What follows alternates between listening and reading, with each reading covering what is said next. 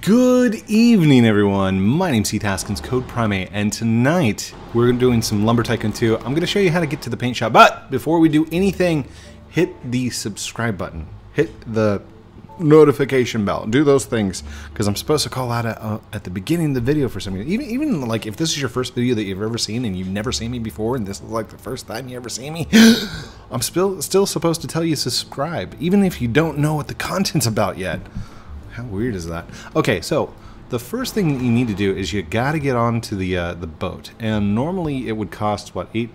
Uh, 400. It's going to cost you 400 money to get onto the boat. Plus, you're going to have to have a base to save your stuff, and you're going to need to have a vehicle. But once we get across there, that's where uh, the the magic happens. That's where I'm going to actually give you the directions and stuff. Oh, we can see inside Hoover's little fort base thingy. Dude, your wheel is, it, there's no texture to it. it. It's just a circle. I don't understand. Is it a button? Do you hit a button and it just goes? I bet that's what it is, isn't it? Code, you're so funny. And here we can see our character has arrived at the glorious tropics area. What's funny is the tropics without the music doesn't look like tropics.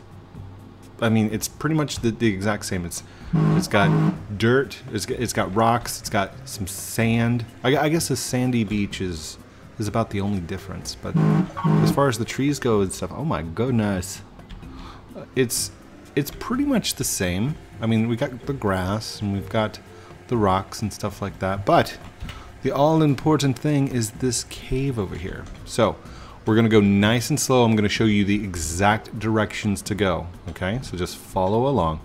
When you get down to the bottom of the ramp, it's going to split off to the left and to the right. You're going to take the left path. Okay, all of these are just nice natural rock formations, nothing to be worried about. It's one hallway all the way down until you get to right about here and this is where it splits off. One to the right one to the left. You're going to follow it to the left side. Just like this. Now this is like a little chamber room. There's just a, a, a, little room. Once you're over here this is like the main little hallway. If you go to the right there's a there's a passage there and then there's a way back around to the first side and to the other side of the cave. We're worried about this one right here. So this is going to be our first left. Left left and head on straight. Okay so the next one, we're going to take a left right here. And then we're going to go to the right. And then once that opens up, we're going to take another left. So, right there. That's the paint shop. Yay! We found it! Yay. Hello, Timothy. This is Timothy. Ah, a customer, please. Oh, what did it say? Please browse the collection. You got it, Timothy. Timothy. So, let's see. That one's 16,000. Art is always expensive, and I never, never quite understood the meaning behind art. Like, I understand throwing up some posters or something. Ooh, I can buy a boat for 5,900. Boats in lumber. Total clickbait right there, see?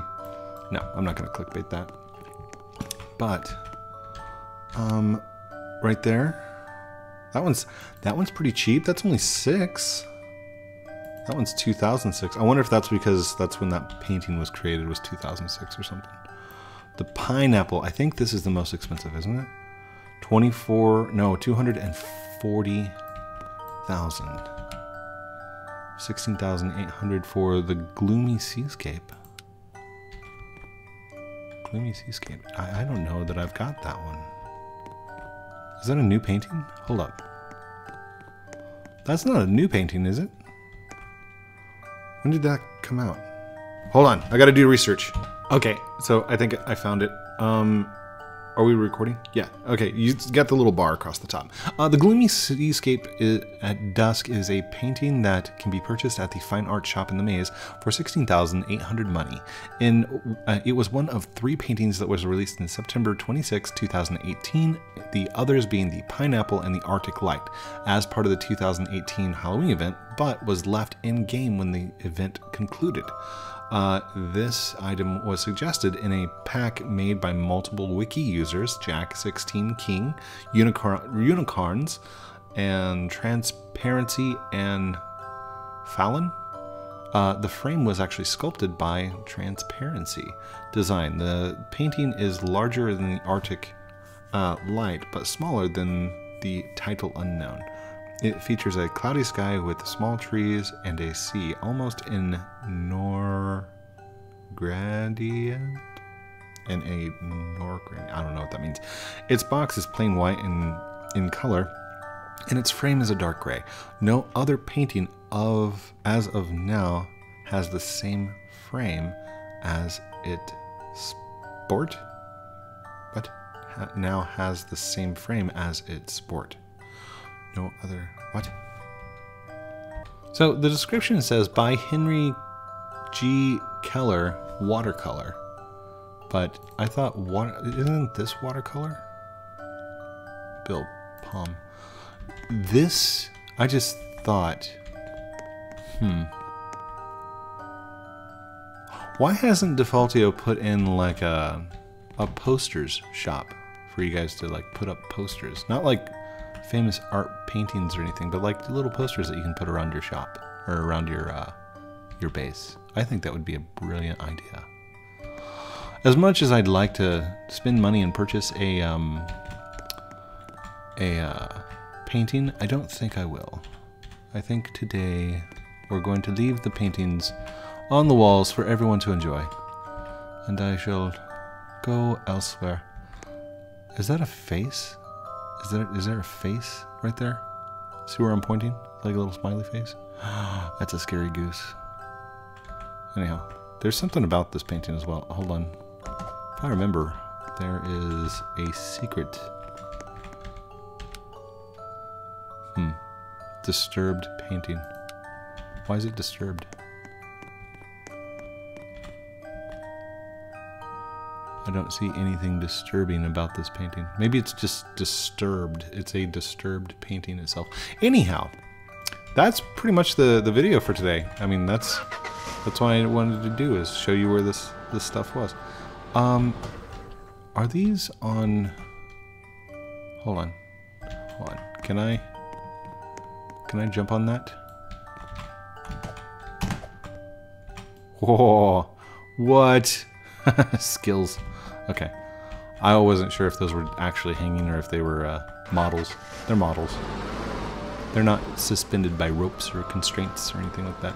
Okay, so um oh, it's left, left, left, right, left, right. So we have to go left, right, left, right, right, right. So left.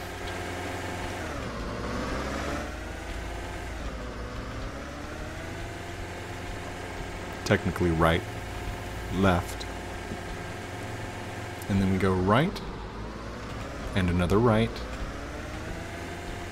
And technically it's not a right, it's just out the door. But that is how to get to the paint shop. So to the person that suggested me uh, making a video on how to get to the paint shop, there you go. Um, I'm also going to do it again at nighttime so you can see how to get down there. Um, for the most part, yes, the cave is is very confusing if you don't know the patterns, if you don't know the the map, the layout, and stuff like that. So if you just keep driving down through there and getting lost and, and like trying your best to find your way around, you'll get to it. So here we go. This first part, all the way down, is not really anything you can do until you get to the uh, the first little opening right here. And this is where it splits off, right, left. You're gonna go to the left. Follow it through this first room. You're gonna go left, left, left. There's left, left, go straight, Here's where it splits off. You're going to go to the left.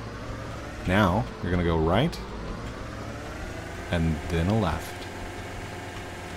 So right here where it splits, go left, bam. You're back to the paint shop.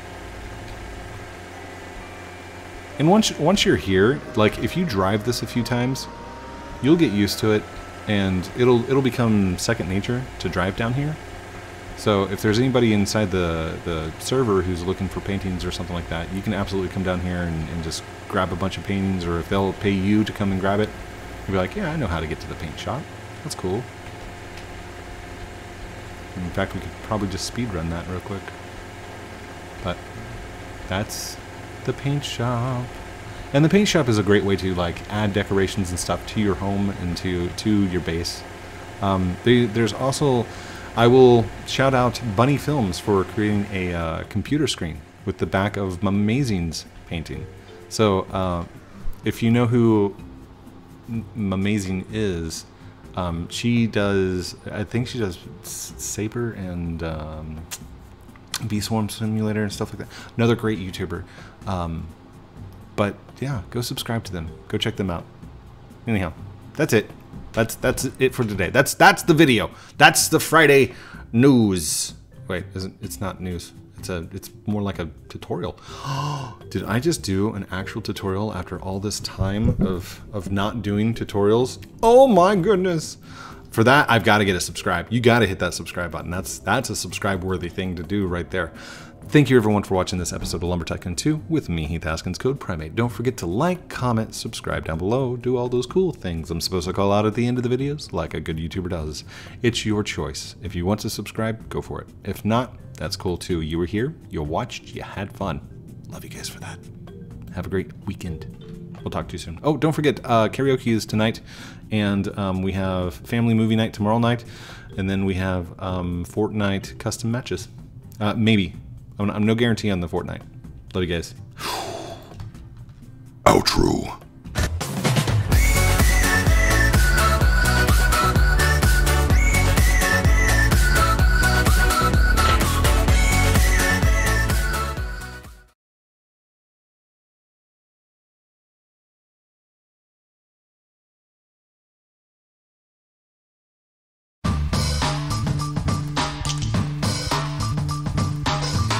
Want some new merch? Check out teespring.com.